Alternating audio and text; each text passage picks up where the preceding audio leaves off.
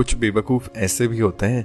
Hotel में बैठे एक आदमी ने दूसरे आदमी से कहा, यहाँ पर काम करने वाला बच्चा इतना बेवकूफ़ है कि जब मैं 500 और 50 वाला नोट उसके सामने रखता हूँ तो वो 50 का नोट उठा लेता है।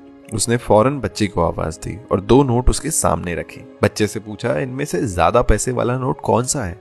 तो बच्चे ने पचास का नोट उठा लिया। दोनों ज़ोर ज़ोर से हंसने लगे। एक आदमी जो दूसरी टेबल पर बैठा था, ये सब देख रहा था। उन दोनों के जाने के बाद उसने उस बच्चे को कहा, कैसे गधे हो यार? तुम इतने बड़े होकर भी 500 और 50 में फ़र्क नहीं जान पाते।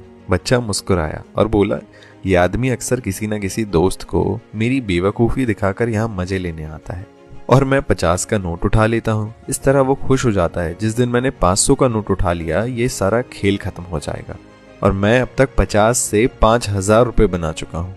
ज़िंदगी भी इसी खेल की तरह है। हर जगह समझदारी की ज़रूरत नहीं होती। जहाँ समझदार बनने से अपनी ही खुशियाँ लुट जाएँ, वहाँ बेवकूफ़ बन जाना ही समझदारी का काम है।